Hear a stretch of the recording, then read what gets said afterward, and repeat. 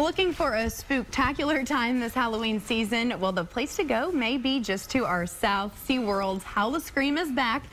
Joining me this afternoon, obviously, here is Jack-O-Lantern. Oh, and hello. unfortunately, some of his spooky creatures, but they're ah. they're okay right now. So tell me a little bit about what all's going on at SeaWorld right Yes, now. well, we have so much do happening at SeaWorld. It's amazing. Now, of course, we have creepy crawlies, we have shows, we have all sorts of animals and whatnots. Now, our shows, let's talk about that for a minute. We have Jack is Back. It's revamped, brand new this year. We have a new Shamu's Rockin' Creep Show. We have Monster Stomp. We have uh, a, a show of sea lions, a new sea lion show. It's Clyde and Seamore's Monster Mix-Up. Now, there's so many things going on, but of course we have to introduce the creepy. I creepy know. I was like, I wish you would have brought Shamu, but instead we've ah. got. All right. What Well, it's a little hard to get Shamu here to Yeah, Austin, but we've brought some of our, our creepy creatures. This is Elaine, and Elaine is a Florida king snake. And Angie, mm-hmm. what are the things they eat? Rattlesnakes. Mm-hmm. Okay, they get rid of the bad guys. They do. They, they what they do is they strike back. Not that rattlesnakes are bad because they also play an important role, but the rattlesnake will strike out at the king snake. The king snake will then strike out simultaneously at the rats, uh, the rattlesnake and swallow them whole and live. And help digest them. They also eat rats and mice. Uh, and then right in front of us here, we also have a Chilean A little fuzzy guy. tarantula. Yeah. Yes, this is Cena, and I know it's hard to see this animal uh, because they're so well camouflaged. These Mm-hmm. animals come from South America, and in their natural environment, if they get scared, they'll rub their back legs against the back Uh-huh. of their body. Hairs will go into the air and up the nostrils or whatever's bothering them.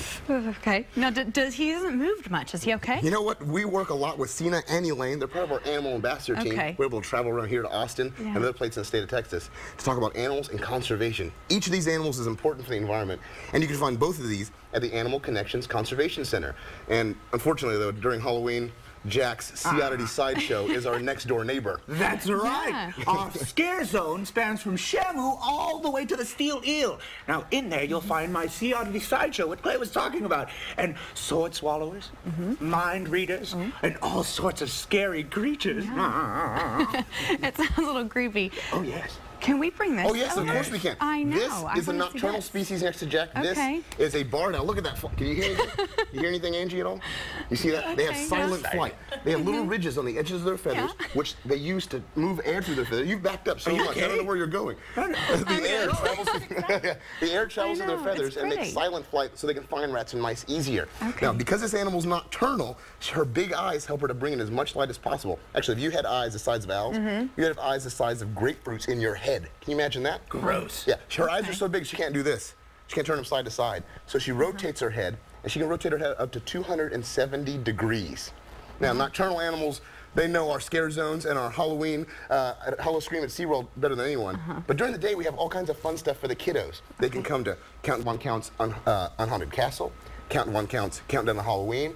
They can trick or treat at Fantasy. And families have a very affordable way of coming to SeaWorld this year. Right now, we have a special promotion. If you purchase a fall fun card, you get the rest of 2012, all of 2013, all the way through the beginning of 2014 that families can come out and enjoy all of our events at SeaWorld, our conservation, our education. But most importantly, come out Fridays, Saturdays, and Sundays, all the way through October 28th. Uh-huh. Someone's excited. Oh, she, she knows SeaWorld is right a here. All right, and yeah, Hallow- Howl-O-Scream continues through the end of the month at SeaWorld in San Antonio. Thank you, Jack-O-Lantern and Mark, and for bringing all of your little creepy crawly friends for us today. We appreciate it.